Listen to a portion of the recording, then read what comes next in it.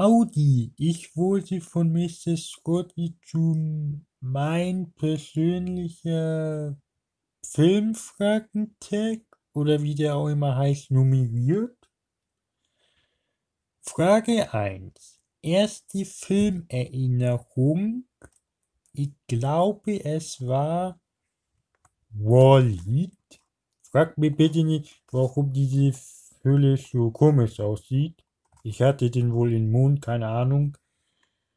Ich kenne das Ende, aber ich habe ihn mir nie zu Ende angeguckt, weil ich glaube, ich hatte einfach ein bisschen Angst vor den Männchen gehabt, weil die so ein bisschen fett waren. Was ja eigentlich keinen Sinn ergibt, weil mein Mut, der ist ja auch übergewichtig, aber okay. Keine Ahnung, ich war halt ein kleines Kind. Frage 2. Erster Lieblingsfilm. Ja, da gibt es ja nur einen. Na, oder, oder? Na gut, schon mehrere, aber ich esse mal der erste. Sango. Also hier der allererste von Second Jesse mit Frank Nero. Ja. Ein tunlich vergessener Film. Also Frage 3. Und warum?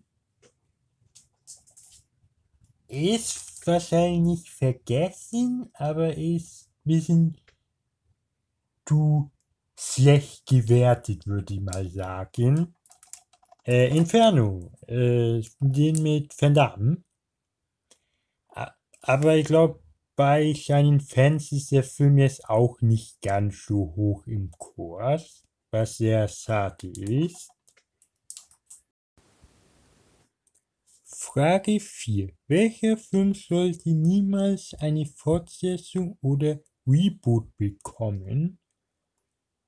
Phantomkommando. Na gut, gefühlt jeder Schwarzenegger-Film sollte kein Reboot bekommen. Was ja bei Terminator ähm, zu Terminator gab es ja ziemlich viele Fortsetzungen. Die waren ja aber zumindest teilweise gut. Äh, Frage 5. Ähm, dein erster Film, den du heimlich geguckt hast. Ähm, ich weiß nicht, ob das jetzt wirklich heimlich war. Es war Iana Jones und der Tempel des Todes.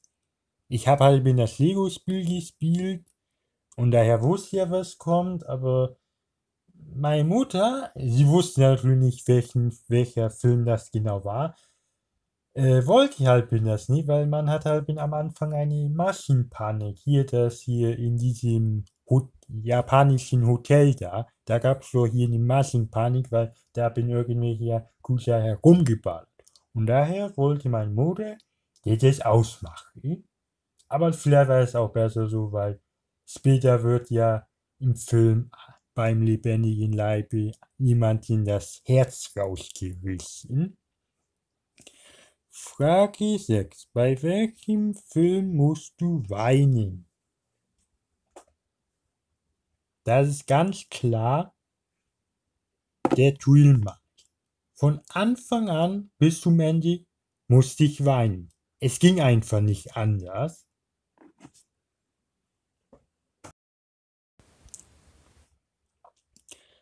Frage 7.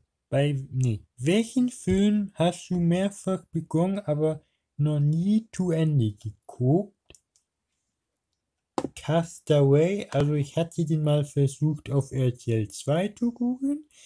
Da habe ich glaube ich nur die tatsächlich nur die ersten fünf Minuten gesehen und dann habe ich ausgemacht und ja, irgendwann hatte ich mir den gekauft und da weiß ich nicht. Ist noch nicht dazu gekommen. Frage 8. Welchen Film fehlt dir bis heute in einer anständigen VÖ? Also ich sag mal, das ist es allgemein gemein. Da sollte man den Film Das Lied vom Mord und Totschlag mit Frank Sonero und Annie Quinn endlich mal herausbringen. Den gibt es nämlich bei uns nur auf VHS. Und das habe ich nicht. Das will ich auch nicht. Frage 9. Bei welchem Film würdest du gern mal in einer Szene mitspielen? Es ist nicht Django, sondern Episode 3 von Star Wars. Ich würde nämlich bei dieser ganz, ganz kurzen Szene, wo man das Sternenchor sehen kann und Ayla Secure, aber würde jetzt nicht sie erschießen, sondern ich würde an ihr vorbei erschießen, weil man erschießt ja keine schöne Frau. Frage 10. Wie wird sich in den nächsten 20 Jahren die Filmlandschaft verändern? Das kann ich natürlich vorher voraussagen, aber ich bin ganz sicher, dass es in den nächsten 20 Jahren noch DVD, Blu-ray und auch noch 4K geben wird. Da bin ich mir schon sicher. Ja, Streaming wird wahrscheinlich noch weiter existieren und das Kino wahrscheinlich auch. Ob die Filme dann besser werden, weiß ich aber nicht. Ich nummeriere Kaffee mit Sassi. Ich hoffe, euch hat dieser Tag gefallen. Bis dann.